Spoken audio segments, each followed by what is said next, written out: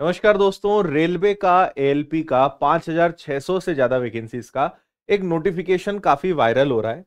तो थोड़ा समझते हैं कि इसमें क्या है, क्या इसकी सच्चाई है, क्योंकि हर चीज़ बड़ी प्रॉपर लिखी हुई है। जनवरी 2024 का नोटिफिकेशन 20 जनवरी से फॉर्म बनना स्टार्ट 19 फरवरी इसकी लास्ट डेट है, पाँच पोस्ट है। तो देखिए, थोड़ा सा मैं आपको शॉर्ट में एकदम एक्यूरेट बताता हूँ। बेटर तो तभी होता है जब कोई चीज़ ऑफिशियली वेबसाइट पर उपलब्ध हो। पर जिस प्रकार से इस नोटिफिकेशन में सारी चीज़ें उसको देखकर काफ़ी हद तक ये लग रहा है कि ये रियल है, यानी ये सच है।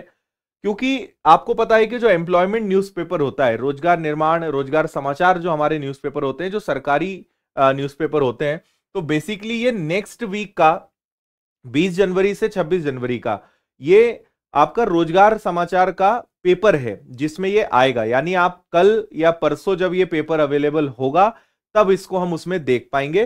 तो आप जब इसको देखते हो, क्योंकि इस प्रकार का पूरा फुल पेज एक एड है, जो रेलवे की जॉब का है, ये ऐसा पूरा सब लिखा हुआ है, इसमें बहुत प्रॉपर।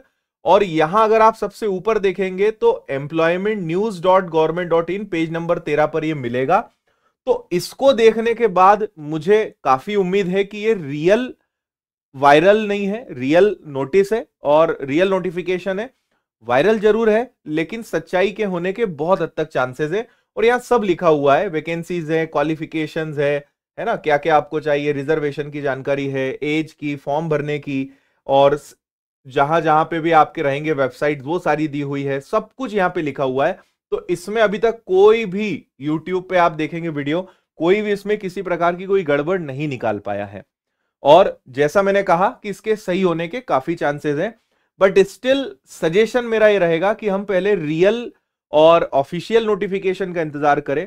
कल जब रोज़गार समाचार एम्प्लॉयमेंट न्यूज़पेपर पब्लिश होगा, अगर उसमें आ जाता है तो फिर तो कोई संदेह ही नहीं है।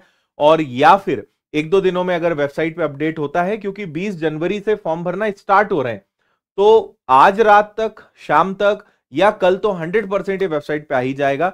तब हम ज़्यादा ऑथेंटिक और बेटर इसको समझ पाएँगे। मैं आपको बस ब्रीफ कर देता हूँ कि इसमें क्या क्या चीज़ें हैं। बाकी जब रियल और ऑफिशियल नोटिफिकेशन आएगा, तब मैं आपको डिटेल्ड जानकारी दूँगा। एलपी मतलब आपको पता ही होगा कि असिस्टेंट लोको पायलट यानी जो ट्रेन चलाता है ट्रेन का जो ड्राइवर होता है, उसको पायलट बोलते हैं लोको पायलट और उसका जो असिस्टेंट होता है, उसको हम कहते हैं असिस्टेंट लोको पायलट और यहाँ पर देखिए सबसे पहले समझें तो 20 जनवरी 2024 इसकी फॉर्म भरने की स्टार्ट डेट है 19 फरवरी लास्ट है।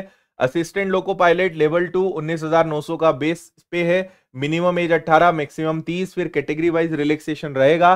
और टोटल कितने पद हैं भाई? टोटल पाँच हज़ार छह सौ छियानवे। पाँच हज़ार छह सौ छियानवे यानी लगभग संतावन सौ पद हैं जो काफ़ी कम है क्योंकि चार पाँच साल से विद्यार्थी इंतज़ार कर रहे हैं।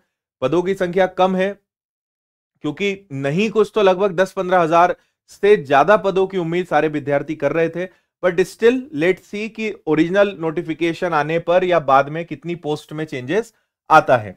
और आपको पता ही है कि ये बेसिकली टेक्निकल नॉलेज वाले स्टूडेंट्स के लिए जिनका कोई टेक्निकल बैकग्राउंड रहा है, जैसे टेंथ के बाद आपने आईटीआई किया है टेंथ के बाद आपने डिप्लोमा लिया हुआ है या ट्वेल्थ के साथ आपका डिप्लोमा है, या फिर आप समझिए कि जो इंजीनियरिंग बैकग्राउंड के हैं, है ना हम बात करें अगर मैकेनिकल की, और बहुत सारी अलग अलग ब्रांचेज है इसमें तो आप अगर टेक्निकल बैकग्राउंड के हैं तो आप इसके लिए अप्लाई कर सकते हैं बट सिविल वाले सीएस वाले, वो नहीं कर सकते, है ना? तो इलेक्ट्रिकल हो गया, है ना? इलेक्ट्रॉनिक्स हो गया, उस स्ट्रीम के विद्यार्थी इसके लिए अप्लाई कर सकते हैं। तो वही सब यहाँ पे पूरा लिखा हुआ है कि आपका, एक तो इसमें थोड़ा सा ही छोटे अक्षरों में तो उतना क्लियर नहीं दिख रहा है, बाकी आप देखेंगे तो mechanic mechanic radio and TV इसके अलावा मैकेनिक, मोटर व्हीकल, वायरमैन, है ना? वायरमैन, फिटर, ट्रेडर, ये सारे जो होते हैं। तो इस प्रकार की चीज़ इसके अंदर आई हुई है और यहाँ पे ऑफिशियली भी काफ़ी अच्छे से चीज़ें लिखी हुई है। तो लगभग उम्मीद है कि ये नोटिफिकेशन सत्य है, सही है, बट स्टिल कल ये सारी चीज़ें क्लियर हो जाएँगी और अगर आज मतलब 20 तारीख से फॉर्म भरना स्टार्ट हो रहा है तो आज शाम तक या रात तक रेलवे की जितनी भी हमारी आर की वेबसाइट है उस पर कहीं ना कहीं इसके बारे में कोई इन्फॉर्मेशन आ जाएगी या अपडेशन आ जाएगा। और अगर वो आता है तो मैं फिर से आपको वीडियो बनाकर इसकी इन्फॉर्मेशन दे दूँगा। सो so, फ़िलहाल इस वीडियो में इतना ही। थैंक यू जय हिंद।